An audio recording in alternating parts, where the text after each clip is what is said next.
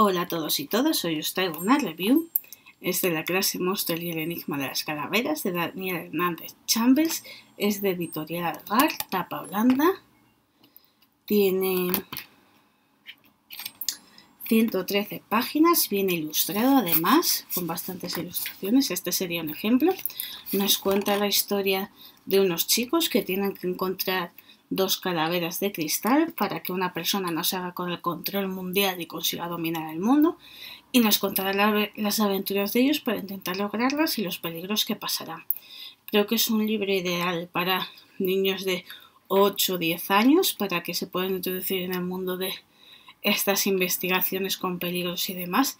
Además, al venir ilustrado está genial. Los capítulos son súper cortos, se lee muy bien, no tiene vocabulario difícil y además trae aquí al final todos los libros que componen la colección hasta este número, así que mejor todavía.